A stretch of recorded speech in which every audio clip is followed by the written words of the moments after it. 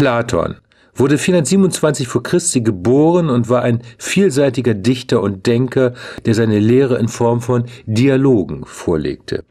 In diesen bildete überwiegend sein verehrter Meister Sokrates die Hauptfigur und ihm legte er seine eigenen Lehren in den Mund. In seiner Seelen- und Ideenlehre geht Platon aber weit über Sokrates hinaus. Hinter der Glückseligkeit verbirgt sich laut Platon das mathematische Ideal von Ordnung, Regelmaß und Harmonie. Ideen sind immaterielle, ewige Urbilder. Die vergänglichen und unbeständigen Dinge, die uns umgeben, sind nur schwache Abbilder oder Schatten dieser hierarchisch geordneten Ideen, haben aber an diesen Teil. Es sind also Allgemeinbegriffe, denen Platon die höchste Wirklichkeit zuschreibt. In unserem Modell ist Platons Wiedergeburtslehre verbildlicht. Die unsterblichen Seelen entstammen dem Raum über dem Himmel, dem Empyreum, und sind auf der Erde in den vergänglichen Körpern gefangen. Die Leiblichkeit setzt auch der Erkenntnisgewinnung Grenzen. Gelangt die Seele aber zu Erkenntnissen, so sind diese Wiedererinnerung an das frühere Wissen im Empyreum, indem sie am Umzug der Götter teilgenommen und die Wirklichkeit geschaut haben. Die Seele besteht nach Platon aus drei Teilen Vernunft, Wille und Begierde. Jedem Seelenanteil entspricht eine Kardinaltugend Weisheit, Tapferkeit und Besonnenheit. Gerechtigkeit entsteht durch die Harmonie der Teile zueinander. Berühmt geworden ist vor allem Platons Höhlengleichnis. Unsere normale sinnliche Wahrnehmung wird mit einem Aufenthalt in einer Höhle verglichen, wie sie in unserem Modell gezeigt wird. Die gefesselten Menschen können nur die Schatten von künstlichen Gegenständen erkennen, die von einem Feuer hinter ihnen an die Höhlenwände geworfen werden. Werden die Gefangenen befreit und aus der Höhle geführt, so können sie nicht nur die Schatten und Spiegelbilder der wirklichen Dinge, sondern auch die Dinge selbst erkennen, nämlich die Ideen, wie sie von der Sonne als Symbol für die Idee des Guten beleuchtet werden.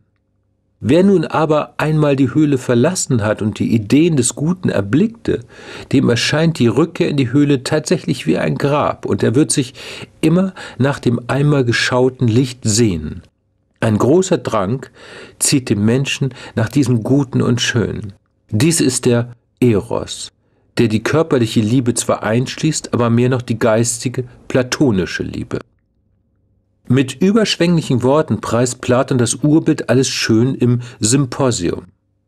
Auch nicht gestaltet wird sich ihm jetzt das schöne Darstellen nicht als Gesicht oder als ein Körperteil, noch als eine Lehre oder ein Wissen, noch als vorhanden in einem anderen, sondern als etwas, was selbst für sich und an sich und auch stets einartig ist.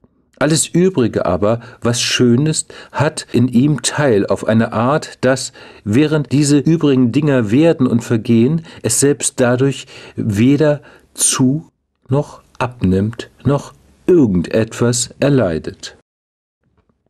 Der Idealstaat Platons ist analog zur Seele eines Dreiklassensystems und wird mit einem Wagengespann verglichen. Der Philosophenherrscher ist der Wagenlenker und entspricht der Vernunft und Weisheit. Die Krieger werden als das edle Pferd dargestellt, das dem Lenker bereitwillig folgt. Es symbolisiert Mut und Tapferkeit. Als dritte Klasse gibt es die Handwerker und Bauern, die vom widerspenstigen Pferd repräsentiert werden. Sie korrespondieren mit den zu mäßigenden Begierden und Leidenschaften.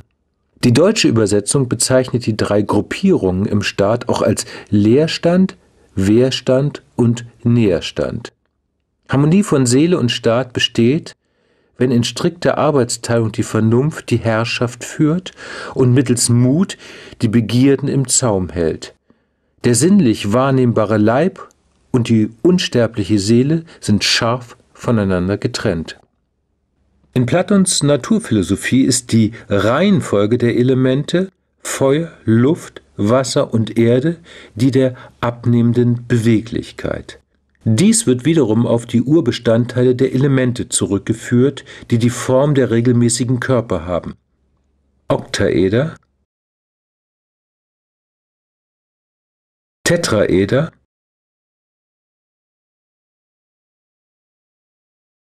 Würfel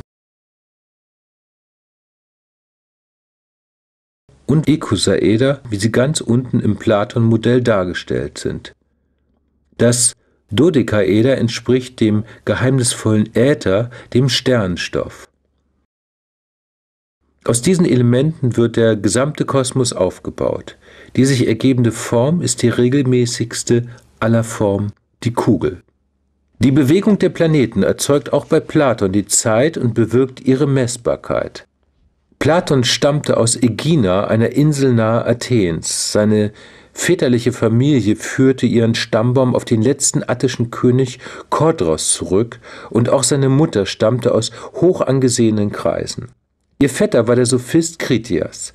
Platons Beschäftigung mit Musik, Malerei und Poesie wurde im Alter von etwa 20 Jahren vom Interesse an der Philosophie abgelöst, wofür der Umgang mit Sokrates entscheidend gewesen sein mag. Schon vorher wurde Platon vom extremen Herakliter Kratylos zur Philosophie angeregt. Dieser verschärfte den Alles fließt Gedanken Heraklits so sehr, dass er als einzige sinnvolle Sprache nur noch hinweisende Fingerbewegungen akzeptieren wollte. Nach dem Tod des Sokrates machte Platon viele ausgiebige Reisen, unter anderem nach Ägypten, Sizilien und Unteritalien.